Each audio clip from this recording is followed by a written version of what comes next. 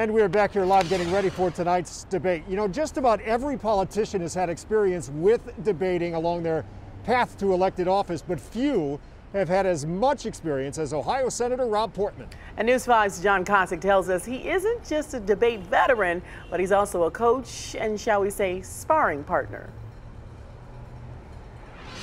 You will never find Ohio Senator Rob Portman on stage at a comedy club doing impersonations, but that's not to say he hasn't done his share of them. In fact, he's played the parts of Al Gore, John Kerry, Hillary Clinton, Barack Obama, and John Edwards, to name a few. I have played the role of uh, the opponent in the presidential debates, I don't know, for four or five times now. It is a job that takes a great deal of study, not only knowing what the opposing candidate is likely to bring up, but also how they are likely to act once they are on that stage, like the last time Cleveland played host to a vice presidential debate in uh, 2004. It was Dick Cheney, John Edwards. I I played the role of John Edwards in the debate preparation, and I repeated the words Halliburton about 300 times. For Halliburton, when he was CEO of Halliburton. While he was CEO of Halliburton, I mentioned Halliburton a few minutes ago. Here's why we didn't think Halliburton should have a, a no-bid contract. Which is basically what happened in the debate. One of Portman's biggest pickups, though, was something he noticed in getting ready for the 2000 presidential debate. This was back uh, with George W. Bush when he was still governor of Texas. He was running for president, and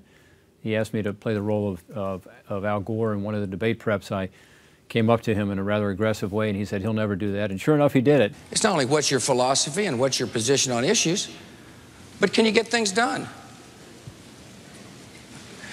And I believe I can.